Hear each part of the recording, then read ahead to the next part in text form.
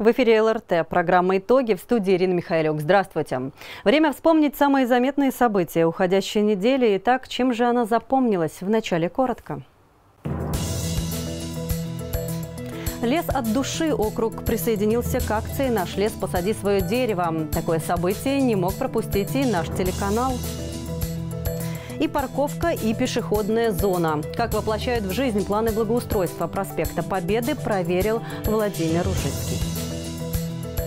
Танец змеиным шагом. Первенство по фигурному катанию на роликах прошло в Люберцах. Покажем самые скользкие моменты. Жители о проблемах не молчат. Мы следили за ходом острой встречи с главой округа. О решениях в нашем сюжете. ГИБДД проверяет пешеходные переходы. Анна Троян расскажет, где необходимо быть предельно внимательным. Словакию по обмену. Чего ждут и чем хотят удивить люберецкие школьники своих ровесников. И медиа-неделя в Люберецком округе. Расскажем, какие темы и проблемы в центре внимания журналистов.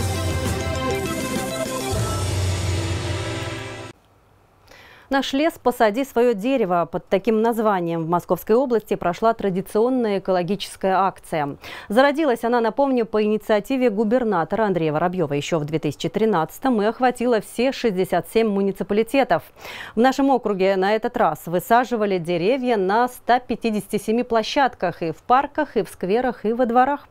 Центральным местом акции стал Томилинский лесопарк. Кстати, желающие посадить там свою березу или рябину могли добраться туда на бесплатно бесплатных автобусах.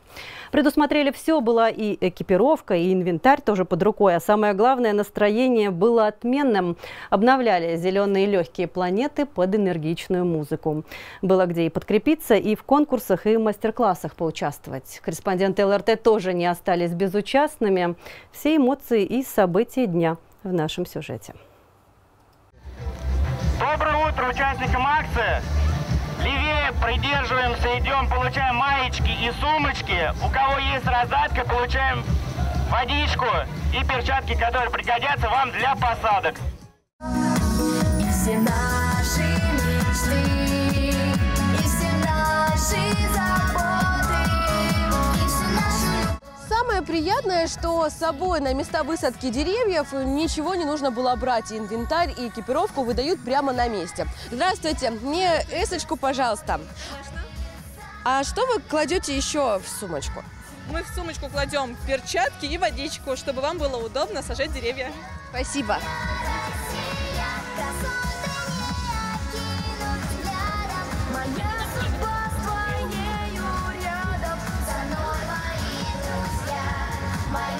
Люберцы в очередной раз присоединились к областной акции «Наш лес». Центральная площадка Томилинский лесопарк впервые стал местом не просто для посадки деревьев, а одной сплошной интерактивной зоной. Здесь и мастер-классы, и развлечения на любой вкус и цвет.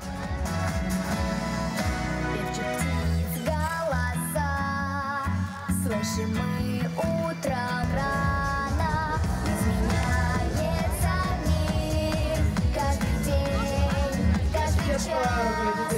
нас поманят к себе гости разные страны. Сегодня самый замечательный день, безоблачный, солнечный. Я даже смотрю, в небе самолет летит и смотрит на то, как мы сегодня будем сажать деревья, деревья счастья. И это деревья будущего нашего. И я верю в то, что у нас все получится и будет самым замечательным образом. Мы сегодня впервые пришли со всей семьей дети, внуки, э, посадить деревья, посмотреть на концерт. Моя Россия, твои просторы, твои леса, поля, озера. Всюду лазят агенты, лазят шпионы, но никак им не раскрыть тайны самогоны.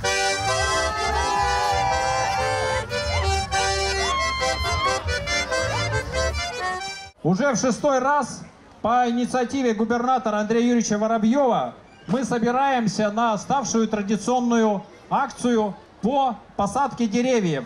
Здравствуйте! Раменцы, привет! и наши гости. Конечно же, мы сегодня рады принимать вот на нашей земле такой и Люберецкой, и Раменской, такую большую группу наших жителей. Мы готовы сажать лес? Тогда вперед! Посадкам! Ура!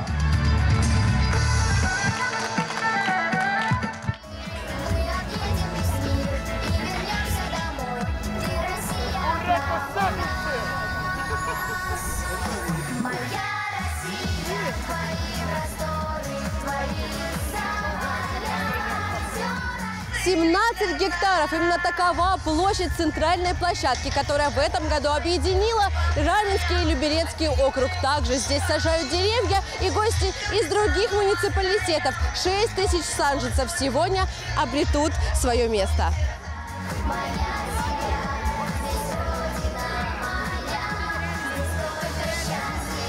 Я ни разу в своей жизни ничего не сажала и только в теории представляю, как это делать. Помогите мне, пожалуйста, э, подскажите, как посадить саженец так, чтобы в будущем из него обязательно выросло большое красивое дерево, и он не погиб.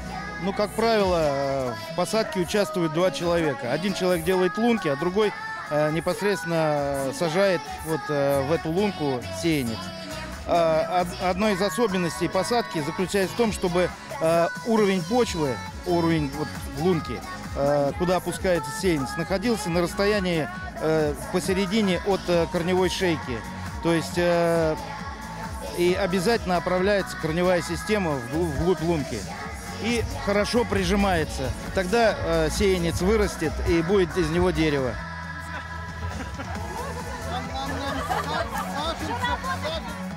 Можно вот это, а можно вот тут? Это тоже.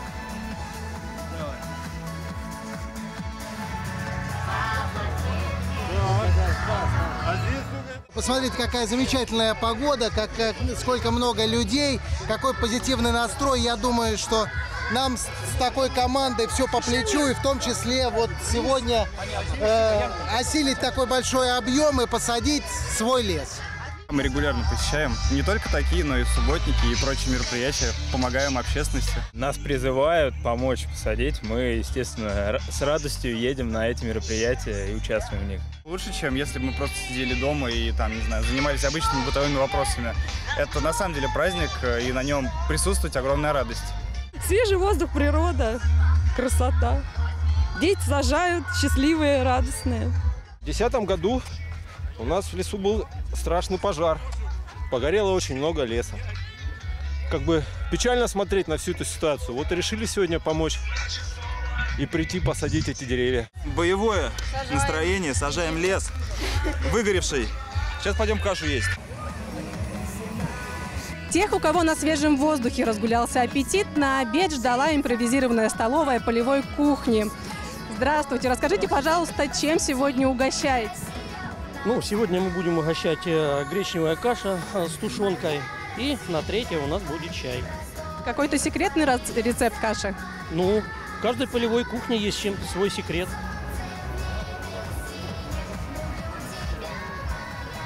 Ну что ж, начало положено. Сегодня Дмитрий Мальцев посадил свое первое дерево. Как ваше настроение? Э, Здравствуйте, хорошее настроение, хороший денек. Очень приятно делать что-то для будущих поколений, для пользы природы и микрорайона вообще в целом. Приятно на душе. Мы пытаемся позаботиться не столько о себе, сколько о будущем поколении, которое вырастет и будет дышать свежим воздухом. Так что все вот для вот этих вот маленьких крох. Слышим мы утром рано. В лесу, конечно, хорошо, но и городу тоже нужны деревья. На массовую посадку вышли не только жители, но и управляющие компании, общественники и депутаты. В районе улиц Волковская, 49 было посажено порядка 10-15 саженцев. Это клен генал, это кусты. Э, Была выбрана замечательная площадка для этого мероприятия. В участие в ней принимали жители ближайших домов. Да, Даша, А теперь, помогай маме пожалуйста, выливать водичку. взяли все ленточку. На посадку деревьев люберчане приходят всей семьей. Вот и семья Гарулька уже с малых лет приучают свою трехлетнюю дочь Дашу к посадке деревьев. Настя, здравствуйте. Скажите, пожалуйста, что значит для вашей семьи посадить дерево? А, Во-первых, это озеленение. А во-вторых, очень важно, мне кажется, приучить ребенка к, к защите, наверное, окружающей среды. И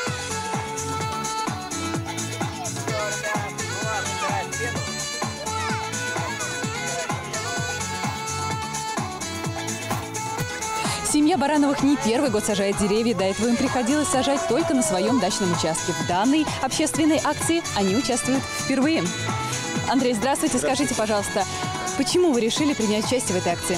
Ну, хот- захотелось сделать ярче, зеленее местность, где мы живем. Выйти на балкон, увидеть красоту и плюс приятно видеть результаты собственного труда. Все, теперь подливаем еще воды.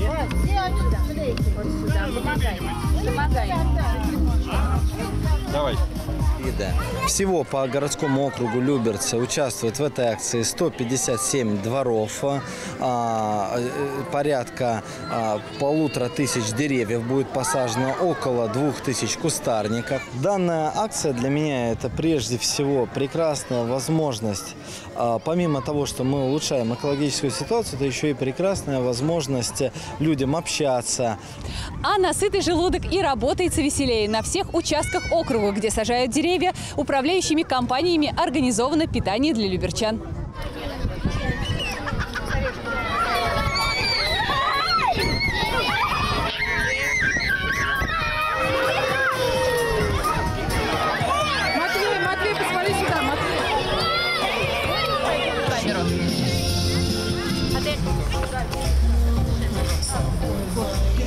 Было очень весело, хорошо. Спасибо, за организацию этого праздника на нашей администрации. Спасибо большое. Мы рады, довольны и счастливы. Да. Мария Кузьмичева, Анна Троян, Дарья Борисова, Петр Пономаренко, Валерий Абсалямов и Денис Михайлов. Телеканал ЛРТ. Неделя в городском округе традиционно началась с оперативного совещания в администрации. Руководители силовых структур и сотрудники органов местного самоуправления рассказали главе округа о результатах своей работы. Все подробности у нашего корреспондента. 38 дел, раскрытых по горячим следам, 127 дорожно-транспортных происшествий и 1650 обращений граждан. Минувшая неделя у люберецких полицейских выдалась нелегкой. В Малаховке правоохранители выявили наркопритон, а в других населенных пунктах произошли убийства. Было совершено два убийства. Одно из них в Томилино, то есть сосед, там сожитель там друг друга забили табуретками, то есть раскрыто, задержан. Также было в Латкарино, ножевое ранение в сердце, тоже задержан человек. Также в городе Держинки отец с сыном поздорили на день города. Отец сыну ножевое ранение в область сердца. Тоже проводится проверка Следственным комитетом. Далее о проделанной работе отчитались люберецкие пожарные. Так, за прошедшие семь дней в округе произошло четыре возгорания, в которых никто не пострадал. Все пожары пришлись на 14 сентября.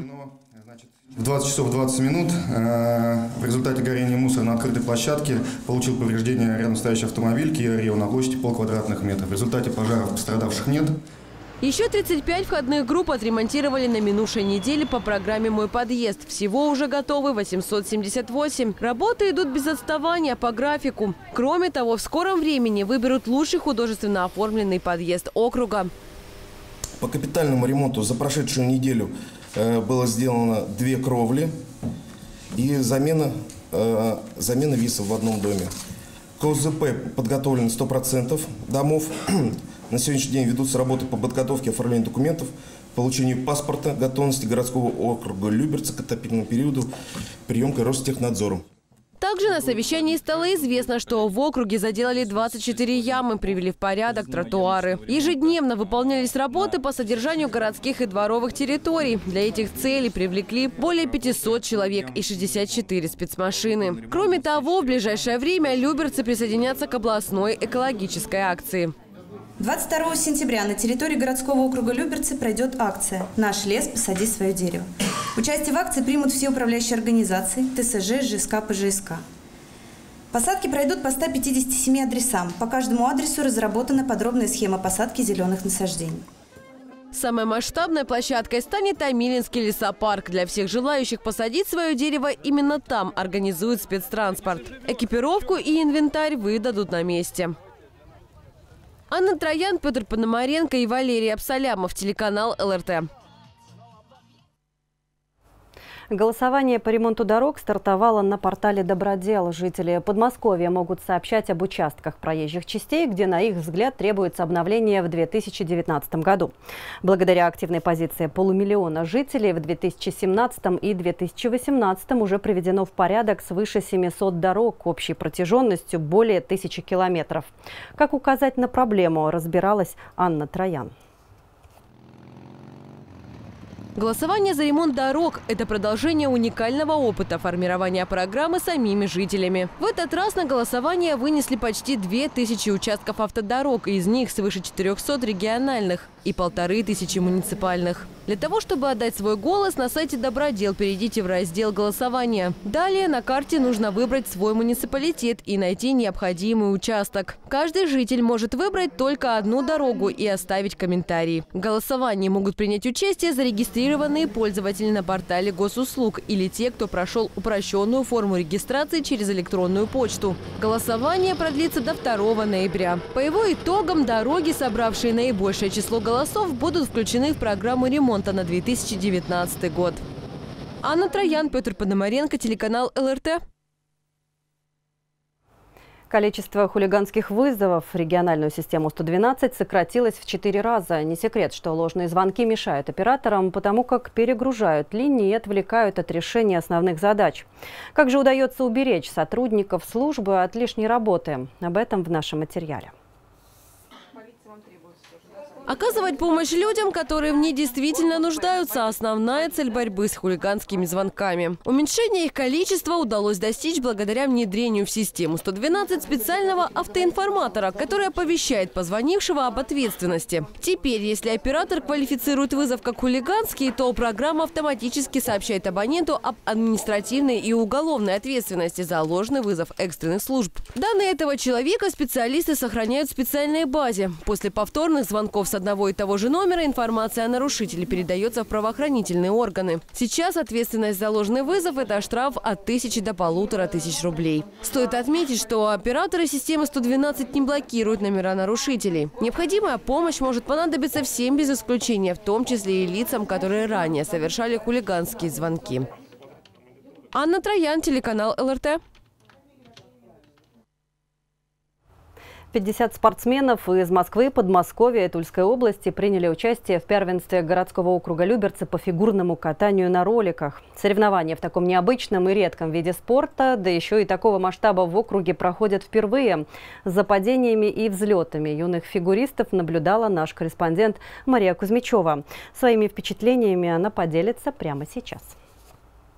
Когда появилось фигурное катание на роликах, сказать сложно, но во всяком случае впервые оно было признано видом спорта только в 2002 году, когда в Германии впервые прошел чемпионат мира по фигурному катанию на роликах. В России этот относительно молодой вид спорта очень популярен среди людей всех возрастов. В Люберцах им занимаются всего три года, но несмотря на столь короткий срок, он завоевал признание и любовь у многих юных спортсменов. Лучшие воспитанники и выступили на первенстве. Вы по жизни будете более здоровые, более ловкие, более сильные, выносливые, потому что спорт, он учит побеждать и устоять в любых ситуациях. Люберчанка Ульяна Ювко в свои пять лет уже твердо держится на коньках. За полгода тренировок девочка научилась многому. Старт спортивной карьере Ульяны дала бабушка, которая подарила ей первые ролики. У нее пошло, ей понравилось. И сегодня наше крайнее выступление на простых роликах. Мы будем приобретать фигурные. Ну и надеемся, что дальше будем быстрее, выше, сильнее. Быстрее, выше, сильнее получалось далеко не у всех. Были падения и неудачи, но спортсмены держались до последнего и выходили с честью. Так же, как и в фигурном катании на коньках, в программу включены прыжки, вращения, дорожки шагов, хореографические последовательности. Я считаю, этого вида спорта есть будущее, потому что он э, доступнее, э, допустим, даже фигурного катания на коньках в плане тренировок, э, но в то же время очень интересный и развивает практически все физические качества. Станет ли фигурное катание на роликах олимпийским видом спорта, покажет время, но соревнования доброй традиции станут наверняка. Мария Кузьмичева, Петр Пономаренко, телеканал ЛРТ.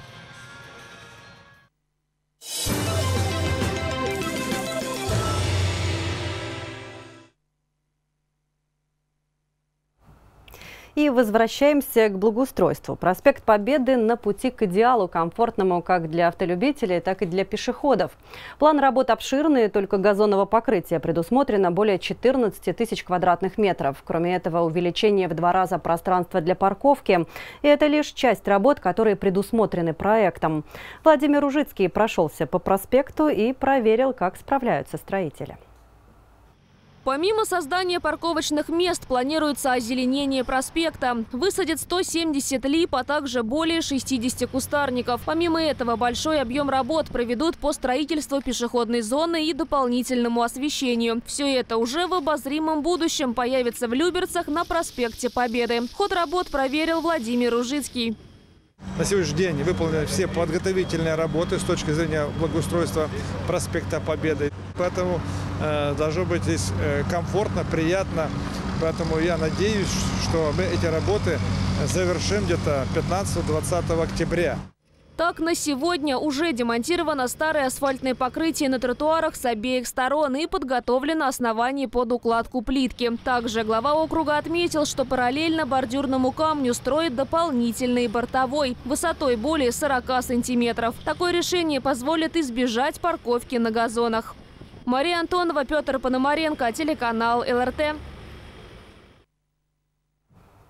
В рамках областной акции «Здоровый город» 28 и 29 сентября пройдут Дни здоровья. Жители округа смогут не только проверить сердце, но и получить рекомендации от ведущих кардиологов. Какие именно обследования и где можно будет их пройти, выяснила Мария Кузьмичева. Увеличить информированность люберчан в вопросах борьбы с сердечно-сосудистыми заболеваниями – такова цель данной акции. Вот уже 8 лет в Люберцах отмечается Всемирный день сердца. В течение двух дней в округе проведут спортивные, культурно-развлекательные и просветительские мероприятия. Также каждый житель может получить бесплатные рекомендации от специалистов.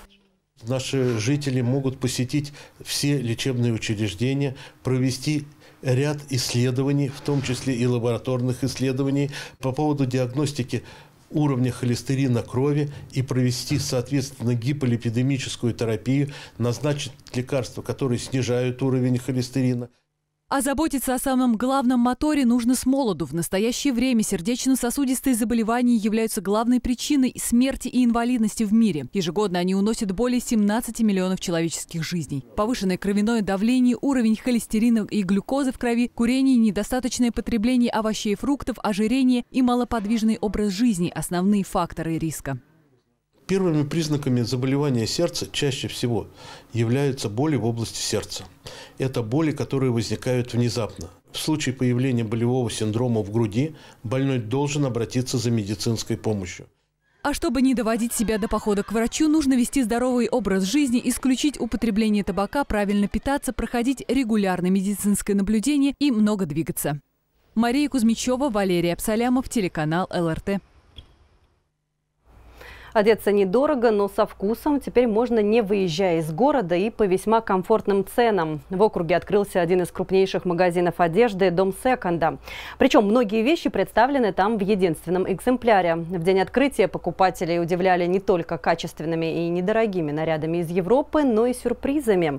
Например, гости могли выиграть до 5 килограммов одежды. Мария Антонова уже успела оценить и качество, и цены, и вес эксклюзивных нарядов. Ассортимент дома секонда уникален. В этом убедились посетители сразу же в день открытия. И не только потому, что все вещи представлены в единственном экземпляре, но и, что немаловажно, в магазине каждую субботу будут обновлять ассортимент, поэтому любой здесь найдет что-то для себя. Здесь большой выбор женской одежды, мужской, детской. Кстати, детской очень много хорошей одежды. Они не успевают как бы вырасти. Э, Есть новая одежда, даже с бирочками. Я здесь себе шарфик э, также присмотрела. Новый с бирочкой, хорошая из Европы. Самый дорогой отдел магазина – 1990 рублей за килограмм вещей, а самый дешевый – 690 рублей. Однако, если возможности оплачивать вещи килограммами нет, в магазине предусмотрели и это. Ну а на этих весах можно узнать стоимость одной вещи. Эту кофточку мы взяли из ценовой категории 990 рублей за килограмм. Кладем ее в корзинку и вбиваем цену 990 рублей. И получается 212 рублей за вот эту кофточку. По-моему, очень удобно. Но даже и такие цены не предел. В доме секонда каждую пятую неделю будут проводить акцию «Шок-цена». Любая вещь в отделе обойдется всего за 100 рублей. Начиная от обычной футболки, заканчивая, например, курткой. Ну, я бы хотела ветровку себе приобрести вот на сезон дождей, который скоро начнется. Наверное, я думаю, выберу. Но я часто пользуюсь магазином секонд-хенд, потому что, ну, пенсионерка. Хочется еще и выглядеть более-менее нормально. Вот, так что я довольна. Но помимо доступных цен, магазин предлагает и хорошее качество представленного товара. Все вещи в нашем магазине э, привозятся только из Европы, из европейских стран, таких как Бельгия, Голландия, Италия, Германия, э, Франция.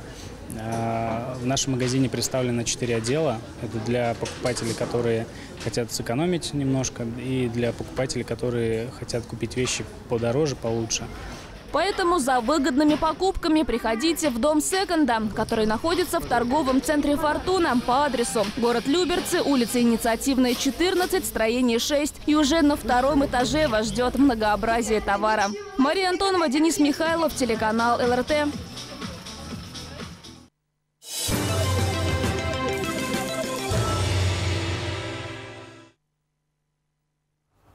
Нехватка объектов здравоохранения, недобросовестные управляющие компании, транспортная доступность и плохая вода. Эти и другие проблемы озвучили жители в ходе встречи с Владимиром Ружицким. В поселке Октябрьские трудностей немало, поэтому диалог вышел весьма эмоциональным.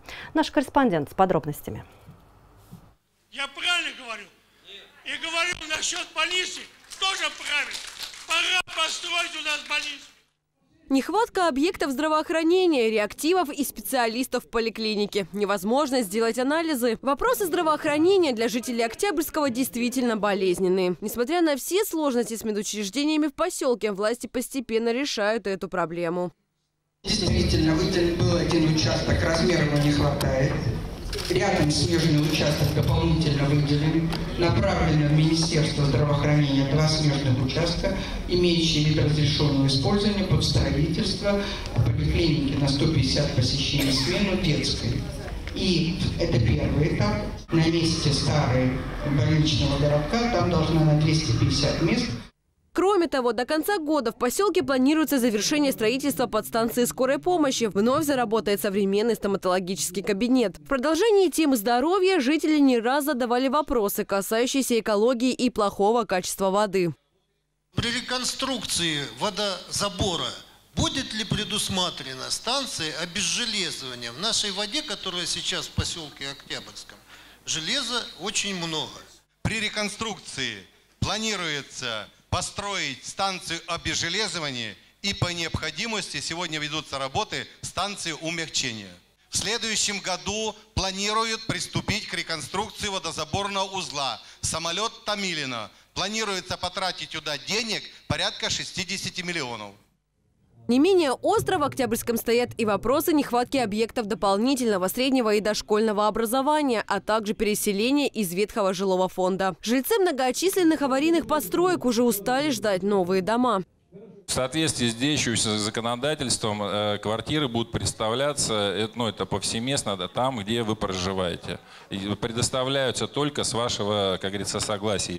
На месте этого микрорайона планируют построить большую школу и два детских сада. Сейчас эти вопросы рассматриваются совместно с глав архитектурой. Реализация проекта в течение двух-трех лет. И как вишенка на торте злободневных тем октябрьцев. Транспортная доступность поселка. Горожане проводят жизнь в многочасовых пробках, однако жители обнадежили. Вскоре появится обводная дорога. Проект э, реконструкция э, М5 Урал э, Новорязанского шоссе уже утвержден. В этом году начинается реализация первого этапа. Всего таких этапов будет три. Первый этап реализуется у нас на э, река Москва. Э, это строительство, мостового перехода и вынос инженерных коммуникаций. После этого трасса в обход поселка Октябрьского пойдет и выйдет э, к стрелке, это где Старорязанское шоссе смыкается с Новорязанским шоссе. Также на встрече удалось найти пути решения конфликтов жителей с перевозчиками и управляющими компаниями. А для решения вопросов личного характера октябрьцы обменялись контактами с представителями власти и структурных подразделений. Анна Троян, Петр Пономаренко и Денис Михайлов, телеканал ЛРТ.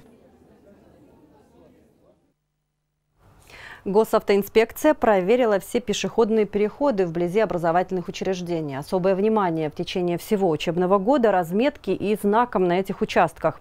Они должны быть максимально информативны и заметны для пешеходов. Все ли требования к переходам соблюдены?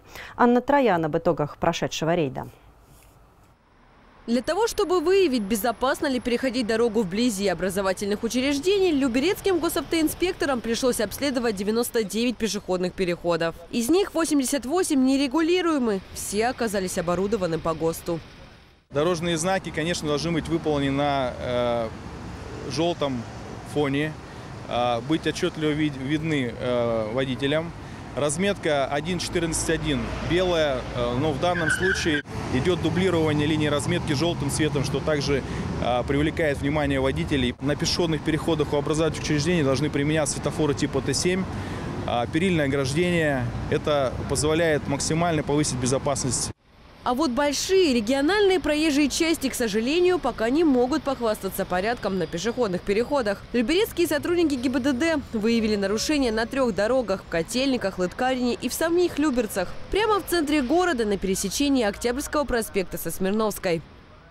Так как э, проезжая часть достаточно широкая, э, в данном случае она имеет 5 полос для движения.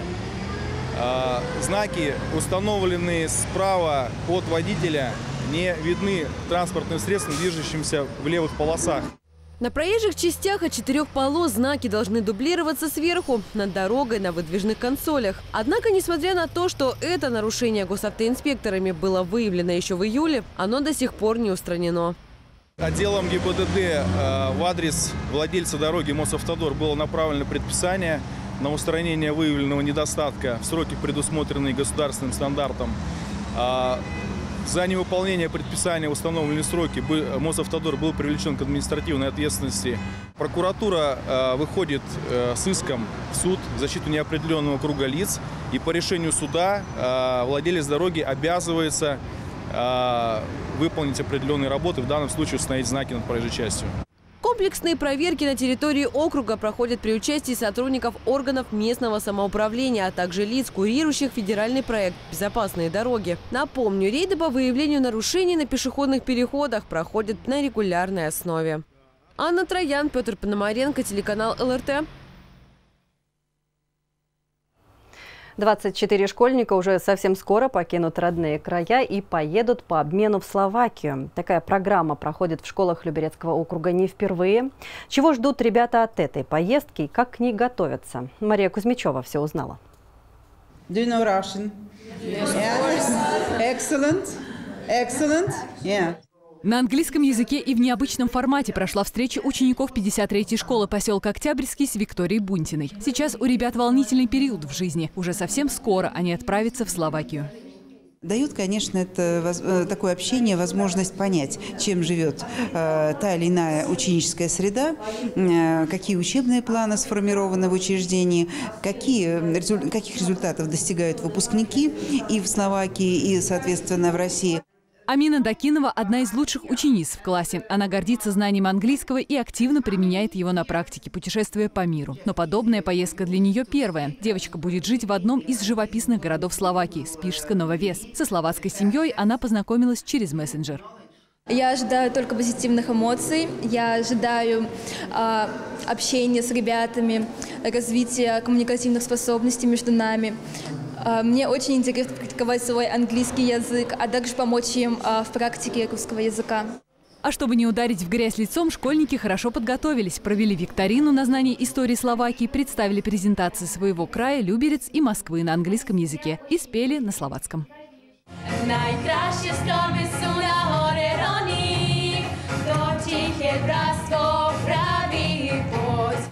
свою очередь, по обмену в Люберцы приедут и словацкие школьники. 24 ученика проведут в России неделю. Мы обязательно покажем Коломну, жемчужину нашего Подмосковья. Конечно, я думаю, что мы э, обязательно отвезем ребят э, в театр, потому что посещение театра – это тоже, в общем-то, здорово. Это позволит им лучше узнать нашу русскую культуру. А чтобы узнать силу российского духа, словацким школьникам предстоит посоревноваться в викторинах, спорте и искусстве. Мария Кузьмичева, Петр Пономаренко, телеканал ЛРТ.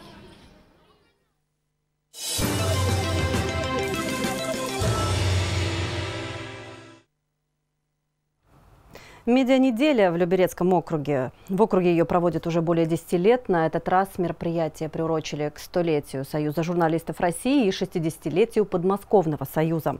Наша съемочная группа побывала на заседании Люберецкого союза журналистов и комиссии по информационной политике.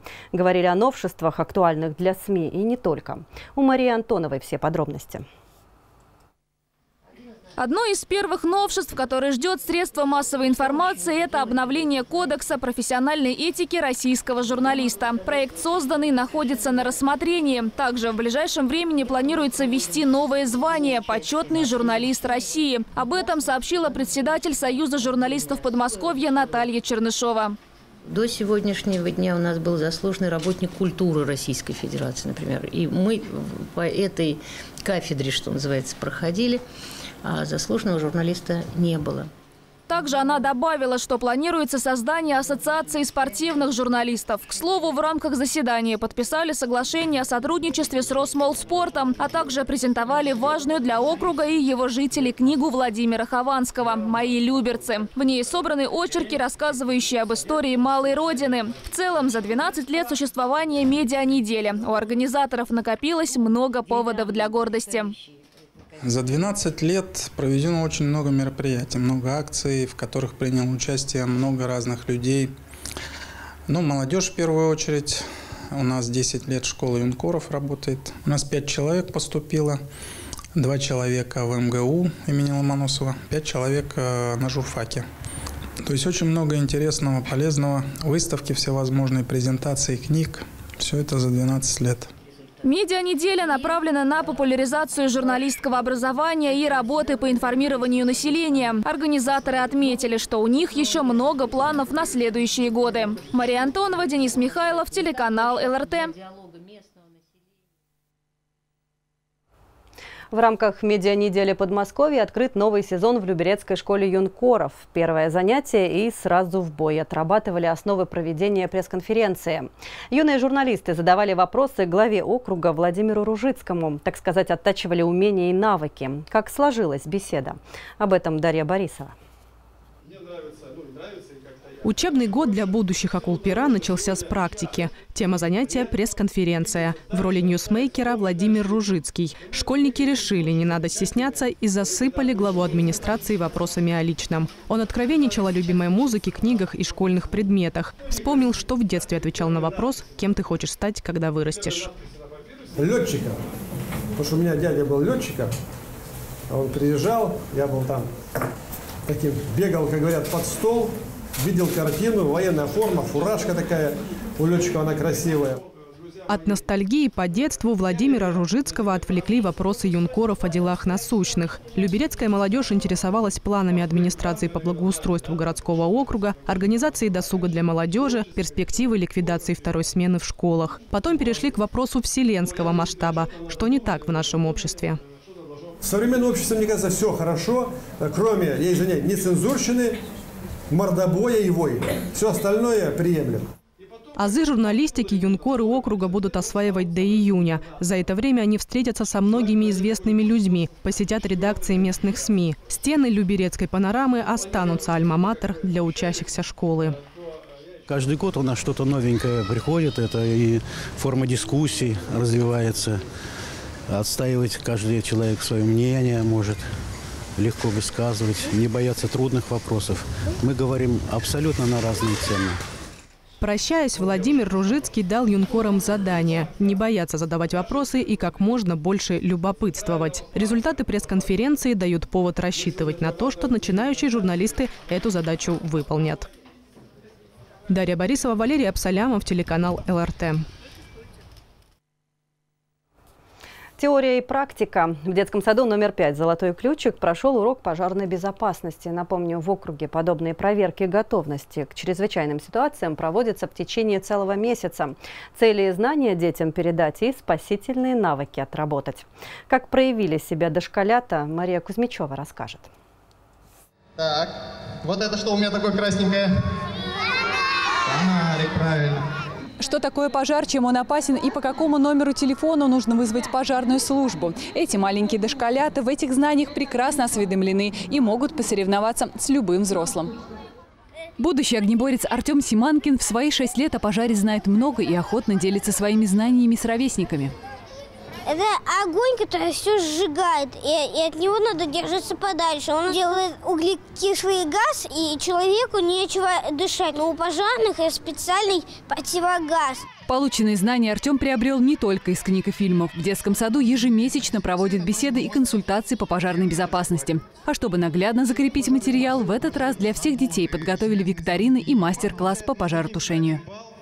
Это забавно, весело изучать что-то в форме игры. Родители всегда принимают участие. Несколько лет назад мы принимали участие в конкурсе «Дети против огненных забав», заняли первое место на районном конкурсе. Очень этим гордимся и стараемся дальше также плодотворно вести нашу работу по безопасности. Осведомлен, значит вооружен. Дошколята и в этот раз достойно справились с викториной и на практике показали свою подготовку. Месячник безопасности продлится до конца сентября. Он охватит все образовательные учреждения Люберецкого округа. Мария Кузьмичева, Валерий Абсалямов, телеканал ЛРТ.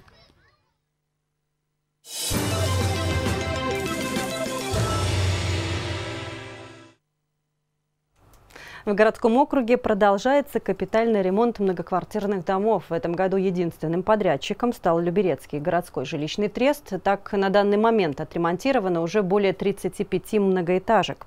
Ход ремонтных работ в домах по Октябрьскому проспекту проверил глава округа Владимир Ружицкий. Во всей красе теперь 201 дом по Октябрьскому проспекту радует жителей не только своим внутренним состоянием, но и внешним. Отремонтированные балконы, окрашенный фасад, ремонт МКД в округе идет полным ходом. На сегодня уже отремонтировано 37 домов. Мы ставим задачу до 1 э, э, января э, все эти дома что определены капитальным ремонтом, а, завершить. Поэтому сегодня это будем капитальный ремонт. Сегодня э, он в разгаре, и как раз э, и время такое, и хорошее, но уже осень, и время поджимает. Поэтому все, что связано с кровлями, э, с фасадами, мы должны завершить в октябре. Но помимо этого в капитальный ремонт входят и внутренние работы. Замена труб, лифтов и многое другое. Все это завершат до конца декабря. Ремонт МКД в округе проводит Люберецкий городской жилищный трест. Но не без помощи жителей, конечно. Именно они делают выбор, каким будет их дом. Нам вот в этом предоставили, году предоставили такой, такую возможность. Да, мы смотрели, целый каталог нам дали. Все мы выбирали, все, все, все с любовью. Если были какие-то замечания, всегда это учитывалось, шло да, навстречу. Да. То есть все устранялось сразу же. Хочется сказать большое спасибо. Спасибо, да, всем. Помимо того, что жители принимают активное участие еще до начала ремонтных работ, а это выбор цвета фасада, плитки, а также других нюансов, то и по окончанию ремонта от них зависит многое. Без подписи председателя Совета многоквартирного дома сдать работу невозможно. Всего же в этом году должно быть отремонтировано 119 МКД. Мария Антонова, Петр Пономаренко, телеканал ЛРТ.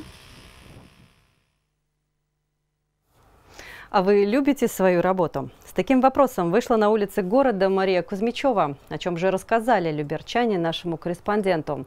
Об этом прямо сейчас в рубрике «Свободный микрофон».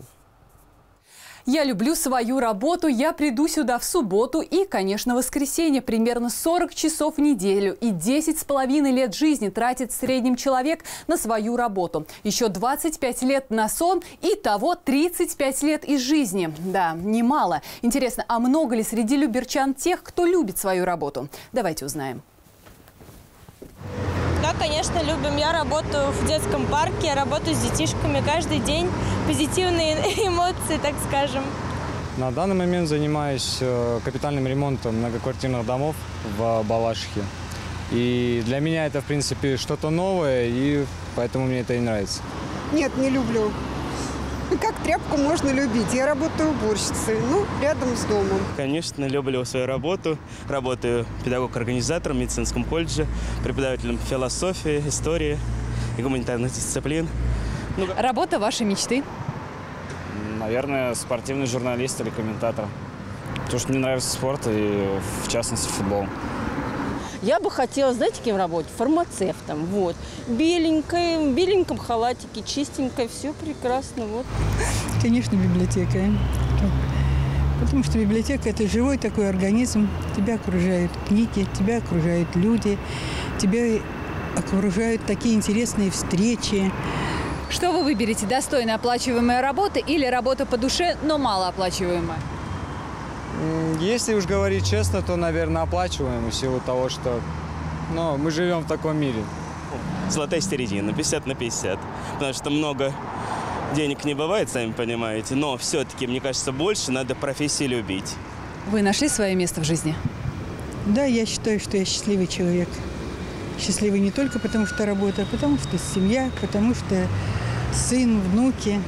Ну, думаю, что в 26 лет трудно об этом говорить, что пока не знаю, но доволен тем, что имею. Я нашел свое место в жизни. У меня, вот я говорю, есть работа, у меня есть коллектив мой любимый, у меня есть моя группа учебная, у меня есть мои ученики. Я говорю, думаю, что больше наград для себя я не желаю. Приятно слышать, что большинство люберчан занимаются любимым делом и к тому же неплохо оплачиваемым и нашли свое призвание в жизни. Ну а тем, кто еще не определился с выбором, желаем удачи. Мария Кузьмичева, Петр Пономаренко специально для рубрики «Свободный микрофон».